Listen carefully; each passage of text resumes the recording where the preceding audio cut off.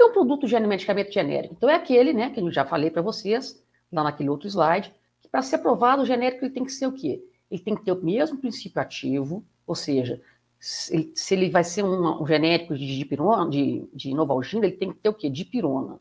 Se vai ser um genérico de glifagem, ele tem que ter dentro dele lá o quê? Cloridato de metformina. Então, ele deve ter o mesmo princípio ativo, ele tem que ter a mesma dosagem, ele tem que ter a mesma forma farmacêutica. Se ele é comprimido, se ele é drágia, se ele é cápsula, tem que ter a mesma forma, ele tem que ser a mesma via de administração também, vai ser de uso oral, por exemplo, que o medicamento de referência. E, além de ser o quê? Bioequivalente. Ele tem que ter a mesma equivalência daquele medicamento. Ele tem que dar, provocar as mesmas reações que se eu tomar uma novalgina e eu tomar dipirona, para tirar uma dor de cabeça, por exemplo, os dois têm que ter o mesmo, uh, o mesmo efeito. Tem que tirar, acabar com a minha dor de cabeça, tá certo? Tem que diminuir minha febre.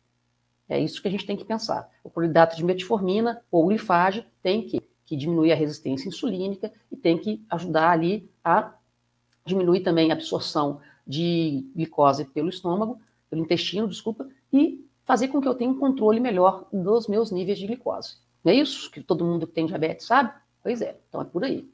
Isso significa que os medicamentos genéricos, eles são o quê? Eles são quimicamente iguais aos medicamentos de referência, os inovadores, aqueles que foram criados e deram origem à série, que após o que? Perder a patente, foram desenvolvidos os genéricos. Os ge eles agem da mesma forma que os genéricos. Tá certo?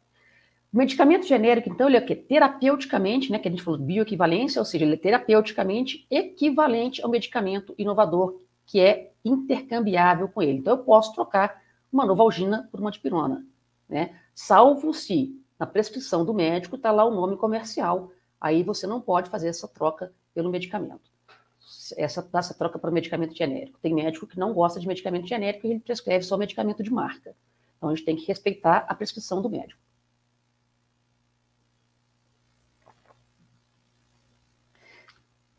Então, uh, biosimilar os biosimilares, então, não são genéricos. Correto? Então, biosimilar é diferente de genérico. Por quê? Porque o biosimilar, eles são o quê? Eles são produtos biológicos, eles não são produtos sintéticos, então genéricos são só produtos sintéticos. Os produtos bio, eh, biosimilares são produtos biológicos, eles são registrados através de desenvolvimento por comparação, então eles são comparáveis, tá? Com produto de biológico de referência. Eles não têm bioequivalência, como tem o produto genérico com seu produto de referência. Até aí, tudo bem? Então, mas o contrário é a, os é, o contrário dos medicamentos sintéticos, está aí que então o genérico ele pode substituir perfeitamente, como eu falei, o medicamento de referência. Mas o biosimilar, ele não é intercambiável com o medicamento com o qual ele foi baseado. Então, eu não posso trocar prescrição. Então, atenção farmacêuticos de plantão. A gente tem aí, hoje, vamos falar de insulina, a gente tem duas insulinas glarginas no mercado hoje, né?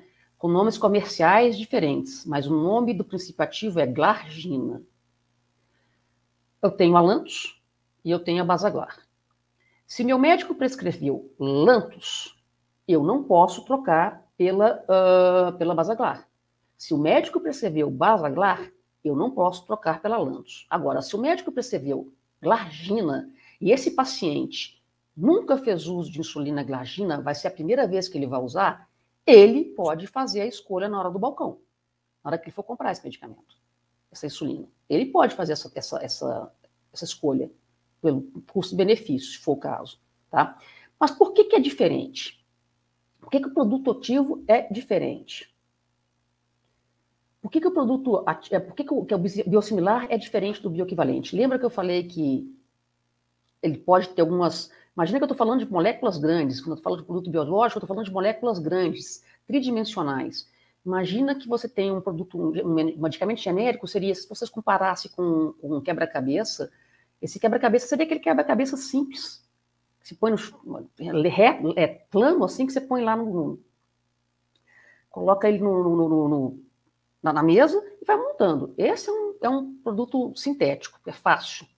Agora, imagina um quebra-cabeça tridimensional, onde você pega uma pecinha e troca de lugar.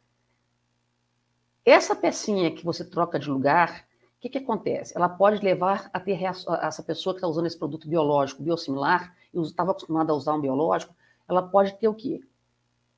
Uma reação imunogênica, ou seja, uma reação alérgica devido a essa mudança de posição ou mudança de aminoácido, pode levar a uma reação imunogênica. Também a gente tem dificuldades hoje para fazer a, a restabilidade ou a farmacovigilância, ou seja, ah, eu uso o quê? Glargina. As duas são glarginas. Como é que eu vou saber qual é que provocou tal reação adversa no paciente? Então é muito difícil fazer essa, essa rastreabilidade. Então hoje a gente precisa de quê? De leis que melhorem essa nomenclatura desses medicamentos uh, bio, uh, biosimilares para que a gente consiga rastrear, fazer uma farmacovigilância mais perfeita com esses medicamentos.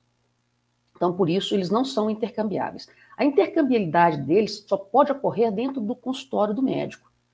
Isso é uma, uma, um acordo entre médico e paciente, e não balcão, farmácia, farmacêutico e uh, cliente. Então, se, se o, cliente quer mudar e ele já faz uso de um medicamento uh, biológico e quer mudar para um biosimilar, ele deve conversar com o médico dele. Porque muitas vezes, até titulação de dose para ver tem, às vezes tem que ser feita. Às vezes ele usava 20 unidades de Lantus e ele passa para Basaglar, as 20 unidades de, de Basaglar não vão é, causar o mesmo efeito. Então, por quê? Um produto biológico ele é preparado em várias etapas. Lembra a cerveja que a gente mistura lá a água com o malte e o lúpulo, depois coloca lá para fermentar, filtra a água diferente. Então, podem provocar reações diferentes. Gente, quem está aí no, no, no, Instagram vai lá para o YouTube, hein? Não esquece não. Então, essa, essa mudança só pode acontecer entre essa relação médico-paciente.